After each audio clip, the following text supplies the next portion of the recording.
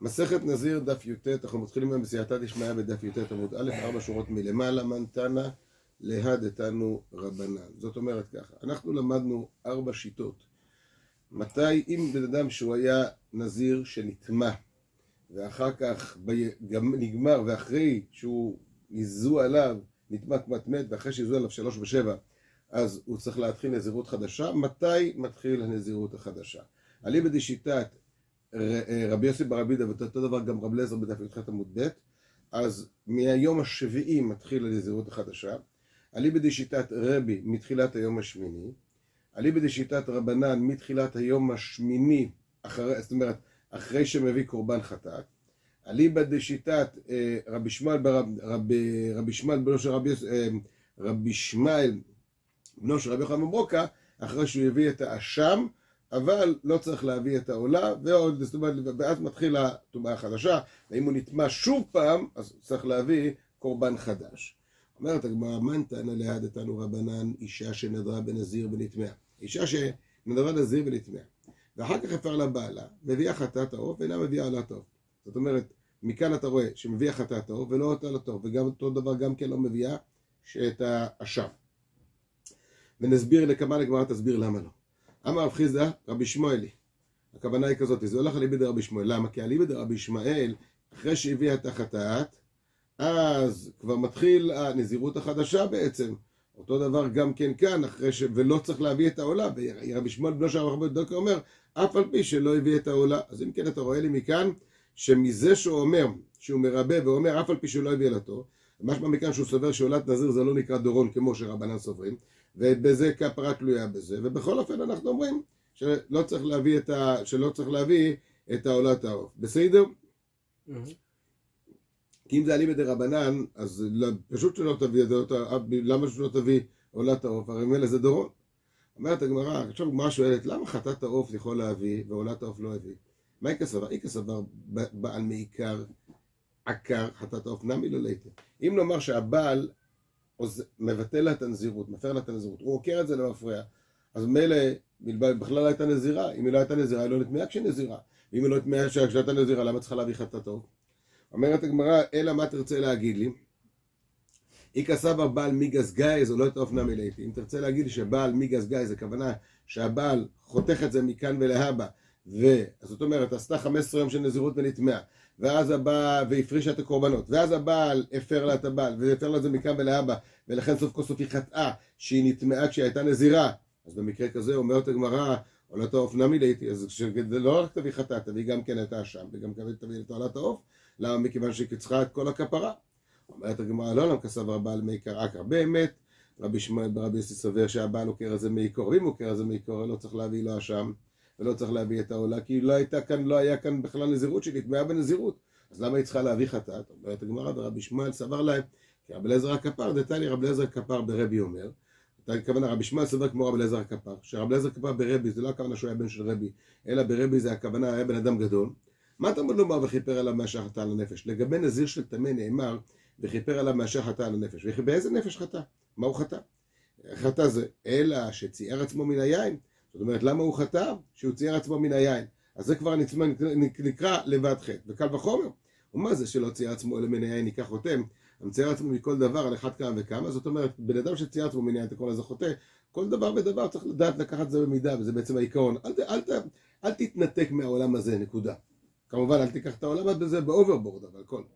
אומרת הגמרא, אז אם כן, יוצא לנו מכאן שעל מה החטא? החטא שהיא ציערה עצמה מן היין, שואלת הגמרא והא בנזיר טמא כתיב, ואנן אפילו נזיר טהור קאמרינן, זאת אומרת, הרי מה שהפסוק מדבר בנזיר טמא, ואתה רוצה להגיד לי שאני בדרבי אלעזר הקפר, מדובר בנזיר טהור, מאיפה אתה יודע שמדובר דווקא, שאפילו בנזיר טהור הוא חוטא, למה? כי הוא אומר, מה זה שציער עצמו מן היין? לא דיברנו לגבי נזיר חוטא, גם בנזיר טהור יש שצייר עצמו מן היין. אומרת הגמרא כסף, הרב אליעזר הכפר נזיר טהור נמי חוטאו. היינו טעמה דכתיב בנזיר טמא, הואיל בשנה בחטא, הכוונה היא כזאת. באמת, הוא סובר נזיר טהור גם חוטא שהוא צייר עצמו מן היין. רק מה? למה דווקא הדגישה את זה בנזיר טמא? מכיוון שהוא הרבה בחטא, הכוונה הוא לא נזהר להיטמא, ואז הוא האריך את הימים שהוא הזהיר עצמו מן היין, ועל זה התורה הדגישה, זה החטא של הבן אדם עצמו. אבל אין לכם הוא גם חוטא מקודם. אנחנו ראינו במשנה, יצא ונכנס עולים לו מן המניין. הכוונה היא כזאת. במשנה אנחנו ראינו שאם בן אדם נזר שהוא בבית הקברות, אז אפילו נשאר שם 30 יום, שום דבר, הוא נטמע, הוא, הוא אה, אפילו נשאר שם 30 יום, וברגע שהוא ניתר, הוא יוצא וניתר, אין לנו בעיה, סליחה, אה, זה, הימים האלה לא עולים לו, זה הגמרא מסבירה עכשיו, הימים האלה לא עולים לו, ואז לא צריך להביא קורבן, אבל אם הוא יצא וחזר בחזרה, אז כבר הימים האלה עולים לו וצריך להביא קורבן. אומרת הגמרא, מחילה מכבוד הרב. שואלת הגמרא, קטני עולים לו מן המניין משום דיצא חלל אביסון נזירות? מה, אתה רוצה להגיד, בן אדם היה בבית הקברות, יצא בחזרה, יכול עליו נזירות, צריך לחכות שבעה ימים, לפחות כדי שיטהר? אמר שמואל, גון שיצא ועיזה ושנה וטבל. הכוונה, הוא לא רק יצא לחמש דקות, הוא יצא, עשה שבעת ימים את הטקס כדי להיטהר מטומאת מת, ו... ואז הוא חזר בחזרה, אז מהימים האלה נספרים, ואם חזר בחזרה הוא נטמע, ואם הוא נטמע, אז באופן אוטומטי צריך להביא גם קורבן. אומרת, אלא נכנסו דעולים לו מן המניין, לא נכנס אלו לו מן המניין.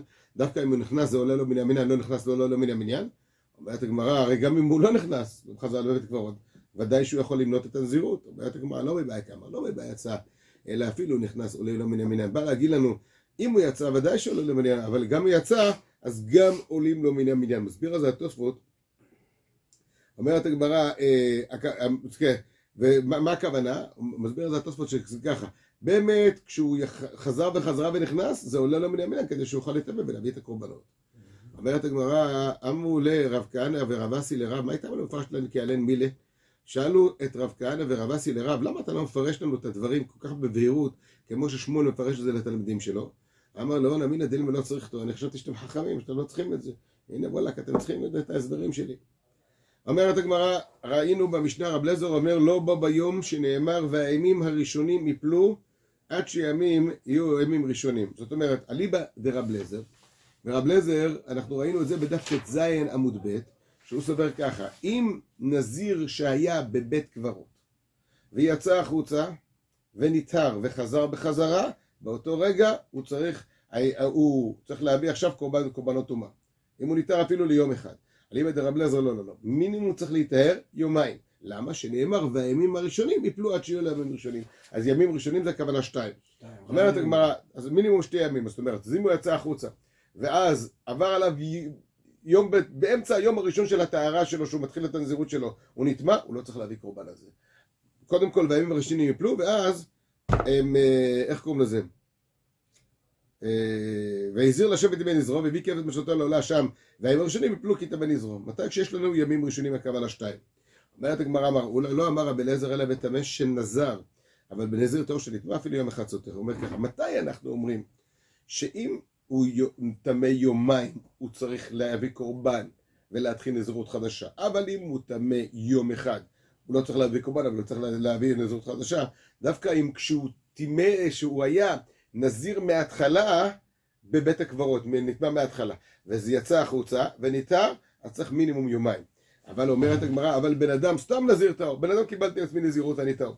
וחצי שעה אחרי שקיבלתי עצמי נזיר טהור, נטמאתי. אני צריך להביא קורבן על זה, ולא צריך שיהיה יומיים של טהרה. אומרת הגמרא, אמר רבא, מה הייתה עמד רב לזר? מה הטעם של רב לזר אליבא דאולה, שהוא מחלק בין נזיר של טהרה, בין נזיר של, שהיה טמא מעיקרו, לבין נזיר שהיה טהור ונטמע, ששם אפילו יום אחד הוא יכול, תוך יום, ב, ב, על חצי יום הוא צריך להביא קורבנות, אמר קרא כי טמא נזרו, משום דבטומאת נזר. הכוונה היא, למה הוספנו את המילים כי טמא נזרו? כדי להגיד לנו, מתי צריך בימים הראשונים יפלו? כי טמא נזרו, כשהוא נזר מלכתחילה בטומאה. אבל אם הוא לא נזר מלכתחילה בטומאה, אז אנחנו אומרים שהוא לא בזה, הוא צריך להביא קורבן אפילו על חצי יום. אומרת הגמרא עכשיו קושייה על ריש לק... על אולה. הייתי ואביי, שואל אביי את אולה, הרי הנה נזיר מאה יום, ונטמע בתחילת מאה, יכול להיות סותר. תלמוד לומר, והימים הראשונים יפלו עד שיעלמו לימים ראשונים. וזה אין לו ראשונים. עכשיו, כאן מדובר שבן אדם אמר, הרי נזיר מאה יום. ונטמע בתחילת מאה, הכוונה ביום הראשון של המאה ימים. היית רוצה להגיד שיש סותר, תלמוד לומר, והימים הראשונים יפלו עד שיהיו לימים ראשונים. זה מדובר שבן אדם כבר אנחנו רואים מכאן מדובר כשהבן אדם היה נזיר מלכתחילה בטהרה. זה כבר קושה על אולה. בסדר? אבל אנחנו נראה, נחכה לסוף. אז אם כן, אתה רואה עד שיהיו ימים ראשונים. צריך שיהיה יומיים ראשונים בדבר הזה. אז אם הוא נטמע ביום הראשון, הוא לא צריך להביא, אה, אה, זה לא סותר את הימים, הוא לא צריך להביא קורבן. וזה, אין לו ראשונים. מה, מה הדין אם נתבע בסוף מאה? הכוונה ביום האחרון של המאה. יכול להיות סותר, הכוונה יכול להיות שיהיה סותר את כל הימים, תלמוד לומר והימים הראשונים יפלו מכלל דאיכא האחרונים. הכוונה היא כזאת, זאת אומרת, אם ביום האחרון הוא נטמע, אז בזה אנחנו אומרים שהימים הראשונים לא נופלים. למה? כי כשאני אומר והימים הראשונים יפלו, משמע שיש לך עוד ימים אחרונים.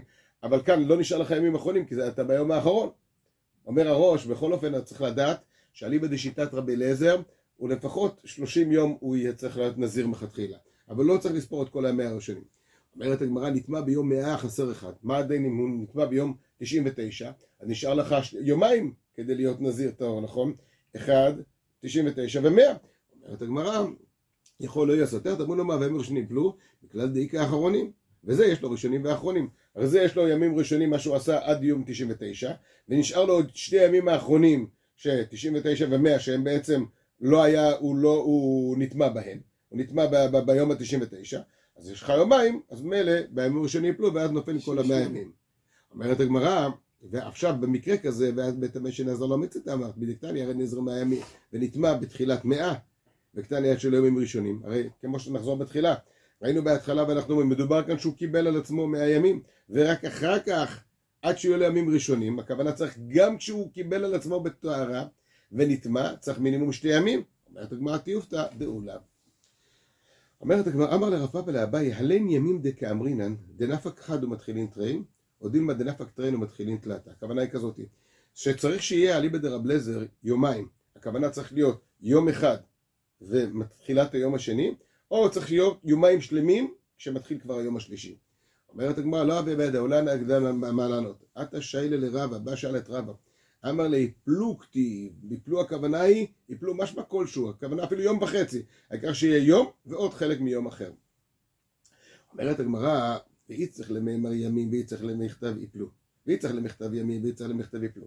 ואי כתב ימי, רחמנא ימים, אם התורה הייתה כותבת ימים ולא כתב יפלו, היינו אומרים הדנפקין טרין והאלין תלתה, הכוונה שיהיו שתי ימים שלמים, שיתחיל כביכול היום השלישי. כתב רחמנא יפלו, הכוונה היא כדי להגיד לנו שאפילו חלק מזה. ואי כתב יפלו ולא כתב ימים, הווה אמינא אפילו חד, הייתי אומר יפלו, הכוונה מדבר על כל שאר הנזירים, אפילו יום אחד, כתב רחמנא ימים, שמינימום צריך שיהיה שתי ימים. עד כאן גמרנו את הסוגיה, מתחילים בסייעתא דשמיא, משנה חדשה. אומרת המשנה, מי שנזר נזירות הרבה והשלים את נזירותו ואחר כך בא לארץ. אנחנו יודעים שיש לנו אה, ארץ העמים מטמא. ולמה ארץ העמים מטמא? כמו שנראה לקמן, מכיוון שעובדי כוכבים לא הקפידו לקבור את המתים שלהם דווקא במקומות מוגדרים, ולכן יש חשש שבן אדם תמיד ייגע בקבר. במקרה כזה אנחנו אומרים ככה, מכיוון שבן אדם מקבל על עצמו, כמובן זה מטמא מדי רבנן, כמו שאנחנו נראה. אז לכן, מי שנזר נזירות הרבה, הרבה, בן אדם קיבל על עצמו 100 יום נזירות בחוץ לארץ, בסדר? ועכשיו בעצם יש כאן טומאת ארץ העמים, גזירה דרבנן. אבל מדאורייתא בעצם הוא לא טמא, הוא טהור והוא יכול להשלים את הנזירות כמו שצריך והוא צריך להגיע לארץ ישראל שהוא גומר את הנזירות כדי להביא קורבנות. והשלים נזירותו ואחר כך בא לארץ ישראל. בית שמאי אומרים נזיר 30 יום. אליבא דבית שמאי הוא צריך שיהיה נזיר מינימום 30 יום. אבל הוא לא, לא, זה לא ביטל את כל, שאר, את כל המאה ימים של הנזירות. אומרת הגמרא, בית הלל אומרים נזיר בתחילה, אומרים בית הלל לא, לא צריך להתחיל נזירות מההתחלה. הכוונה, קיבלת על עצמך ימים בחוץ לארץ, באת לעשות את הקורבנות, הגעת לארץ למקום טהור, אתה תתחיל לעשות עוד הפעם את הנזירות. אומרת הגמרא, מעשה בעיני המלכה שהלך בנה למלחמה, היה מעשה בעיני המלכה שבן שלה הלך במלחמה, ואמרה, אם יבוא בני מן המלחמה בשלום, יהיה נזירה שבע שנים. עכשיו, בא בנה מן המלחמה, הגיע לשלום, עכשיו, היא הייתה נזירה שבע שנים בחוץ לארץ. ובסוף שבע שנים עלתה לארץ יהודה, לארץ, כדי להביא את הקורבנות. אמרו בית הלל שתהיה נזירה עוד שבע שנים אחרות. מה אומר לבית הלל? עוד שבע שנים אחרות. אז מה קרה? יש לנו, קיבלה עוד כפל קנס מה שנקרא, למה? כי כמו בית הלל, שיטתם, כי אני בית שמאי רק שלושים יום אפשר. אומרת, ובסוף שבע שנים נטמאת, בסוף שבע שנים היא נטמאה. אומרת הגמרא, ונמצאת נזירה 21 שנה, אז היא הייתה צריכה עוד פעם לעשות עוד שבע שנים, בסוף היא עשה שתי כפול שלוש, 21 שנה. רבי יהודה אומר, אמר רבי יהודה, לא הייתה נזירה אלא 14 שנה. אומר רבי יהודה, היא לא הייתה נזירה 21 שנה, אלא רק 14 שנה. ואת המחלוקת בין רבי יהודה לרבנן נראה לקמן בדף כ עמוד א', בסייעתא דשמיא בשיעור הבא. אומרת הגמרא, הקטני רישא בית שמאי אומרים נזיר 30 יום ותלמוד נזיר בתחילה.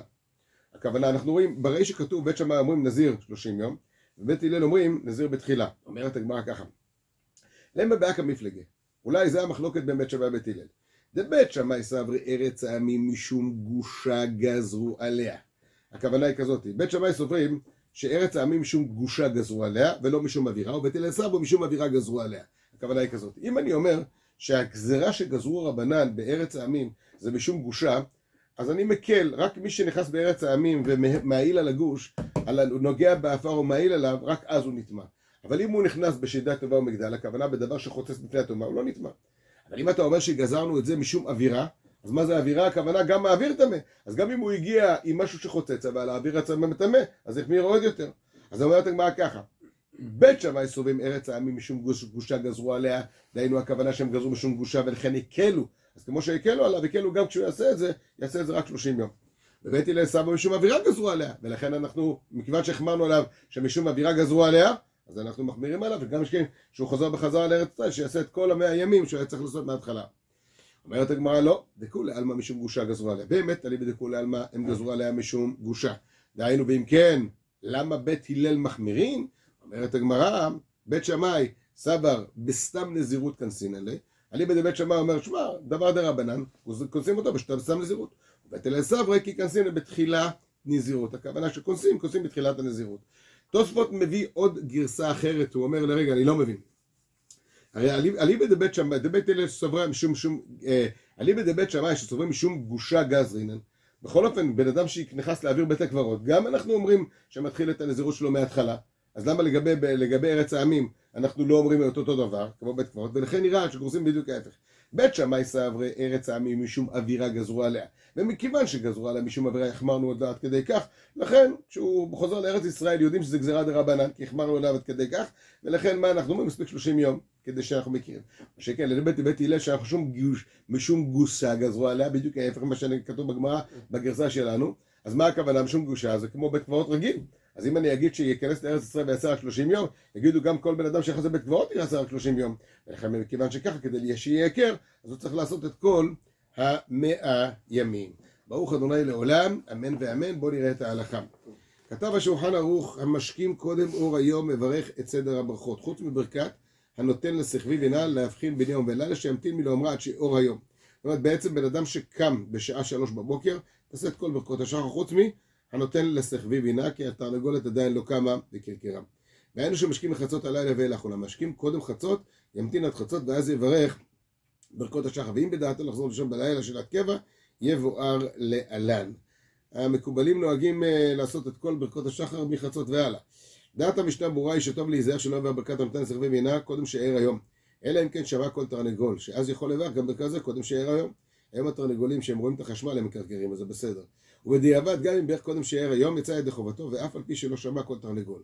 הרבה מהפוסקים הספרדים כתבו על פי דברי אריזל שמחצות הלילה ואילך מברכים את כל ברכות השחר וגם את ברכת הנותן לשכבי בינה ואף אם לא שמע כל התרנגולים.